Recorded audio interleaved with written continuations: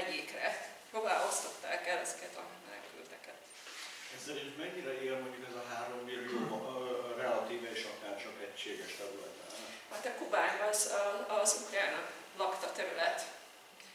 Tehát a, a Donbass meg a Kubány, az két egymás melletti medence, olyan, mint a Kárpát-medence, az meg a Don-medence, meg a Kubány, és a, a Egyébként a Szovjetunió Oroszország Ukrajna közti határt Stalin által vezetett bizottság döntötte el, és az ukrán adta Kubány az valamiért oda ment, és ez meg idejött, de hogy ez miért,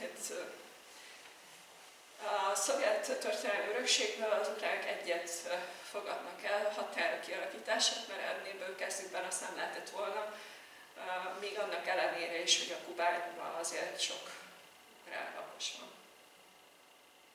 Nagyon szépen köszönöm szépen.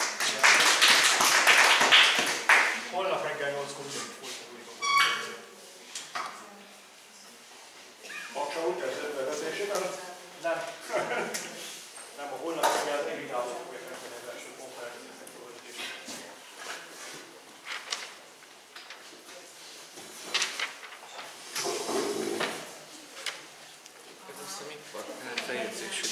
adom. Jaj, nagyon szépen köszönöm.